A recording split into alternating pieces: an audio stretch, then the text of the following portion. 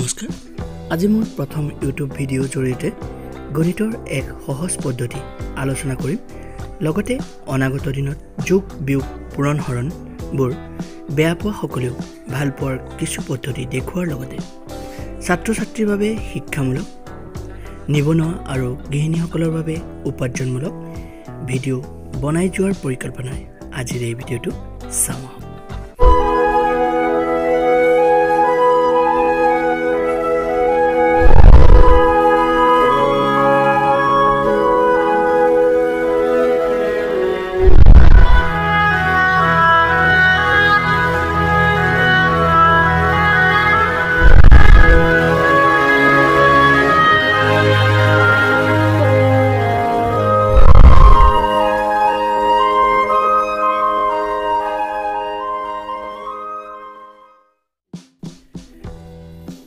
নমস্কাৰ আজি মই আপোনালোকক পূৰণ কৰা কিছুমান নিয়ম শিকাব বিচাৰিছোঁ। নিয়ম একচুৱেলি নিয়ম নহয় অতি সহজে কৰিব পৰা কিছুমান বুদ্ধি।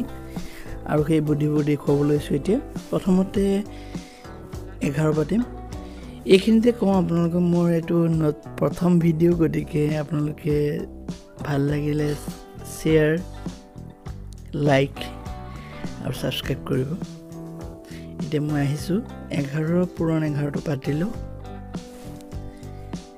এক আৰু এক প্ৰথমতে পূৰণ কৰোঁ। ইয়াৰ দুটা ভাগ কৰি ল'ব। সোঁফালৰ ভাগ এটা বাওঁফালৰ ভাগ এটা। আমি প্ৰথমতে এক পূৰণ এক পাতি লৈছোঁ। এক এগুণ এক। তাৰপাছত পুনৰ আপুনি এই বাওঁফালৰ যিটো ভাগ আছে তাক দুবাৰ কৰিব লাগিব। এবাৰ যোগ এবাৰ পূৰণ। প্ৰথমতে আমি যোগটো কৰিম। এক যোগ এক সমান দুই। আমি এক আৰু এক দুই পাতি ল'ম তাৰপিছত আকৌ পুনৰ কৰিম এক পূৰণ এক। এইটো একটো আমি ইয়াতে পাতি ল'ম এশ একৈছ পালোঁ। আপুনি চাওক এঘাৰ এঘাৰ গুণ এশ একৈছ। আপুনি দুই দুই খাদ্য আমি এবাৰতে কৰি দিলোঁ।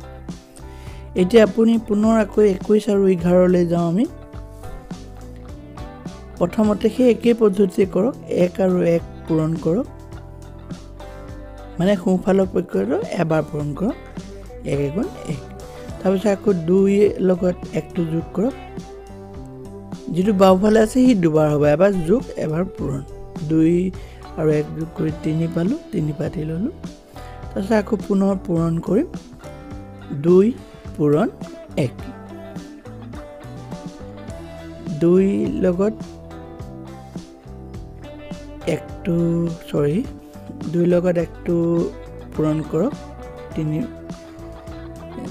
দুই পাব। দুশ একত্ৰিছ হ'ল। আপুনি কৰি চাওক লাগিলে এইটোৱে পাব নাম্বাৰ ঠিক সেইদৰে আপুনি প্ৰতিটোৱে কৰিব পাৰিব। আমি প্ৰথমতে পাতি লওঁ। এক এগুণ এক একে একে দুই আৰু এক এগুণ এক। এক এগুণ এক একে দুয়ে তিনি এক দুগুণ দুই। একে একে এক এগুণ এক একে তিনিয়ে চাৰি। আৰু এগুণ তিনি তিনি। এক এগুণ এক একে চাৰিয়ে পাঁচ আৰু একে চাৰি গুণ চাৰি। ঠিক সেইদৰে প্ৰতিটো আপুনি কৰিব পাৰিব অতি সহজেই হয়তো মই যিটো কৈছোঁ সেইটো আপোনালোকে আগৰ পৰাই জানে। তথাপি যিসকলে নাজানে সেইসকলক এই টিক্সটো দিলোঁ। এতিয়া আমি পুনৰ আহোঁ এসত্তৰ আৰু এঘাৰ পূৰণ। প্ৰথমতে এক এগুণ এক একে সাতে আঠ এগুণ সাত সাত। আৰু ইয়াৰ পিছত আমি এইট্টি ওৱান আৰু ইলেভেন পূৰণ কৰিম। ওৱান এক এগুণ এক একে আঠে ন আৰু এঘাৰ গুণ আঠ।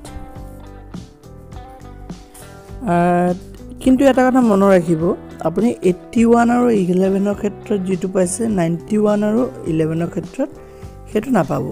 এতিয়া আমি চাওঁ নাইণ্টি ওৱানটো পাতি ল'লোঁ যিহেতু এতিয়া ইলেভেনটো চাওক। ইয়াতে অলপ প্ৰব্লেম আছে। এক এগুণ এক আপুনি পাতি ল'ব। তাৰপিছত চাওক এক আৰু ন যোগ কৰিলে মানে ন যোগ এক সমান যদি কৰে দহ পাব। মানে দুটা ডিজিটৰ সংখ্যা পাব দুটা অংকৰ সংখ্যা পাব। ইয়াতে চাওক আপুনি দুটা ডিজিট আছে। আপুনি এইটো এক আৰু শূন্য। এইখিনিতে এটা কথা কওঁ সাধাৰণতে বহুতেই অংক বিষ অংক কেইটা নাজানে অংক দহটা কিন্তু মনত ৰাখিব। মই সেইটো দি দিম বাৰু আপুনি স্ক্ৰীণত চাব পাৰিব। এতিয়া চাওক ন একে যিটো দহ হ'ল আমি দহটো এতিয়া পাতি দেখুৱাইছোঁ কিন্তু পাতিব নালাগে। জাষ্ট দেখাবৰ কাৰণে পাতিছোঁ। এণ্ড নেক্সট আকৌ ন এগুণ নটো যিটো আছে তলত আমি পাতি দিলোঁ। শূন্য ন একে আকৌ দহ। এতিয়া আপুনি য'ত এতিয়া চাওক নাইণ্টি ওৱান ইলেভেন পাতি ল'লোঁ। আমি এশাৰীতে কৰিম। ওৱান ইণ্টু ওৱান ওৱান এইটো যিহেতু পূৰণ তাৰপিছতো যোগ কৰিব লাগিব। ন নাইন এক আৰু যোগ কৰিলে আপোনাৰ দহ হ'ল। দহৰ শূন্যটো পাতিলোঁ একটো আঁতৰাই দিলোঁ। তাৰপিছত আকৌ পূৰণ কৰিব লাগিব যিহেতু এক ন গুণ ন। সেই নটো আমি একটোৰ লগত যোগ কৰি দিম এটা লাইনতে। ন একে কি পাম? আমি দহ পাম।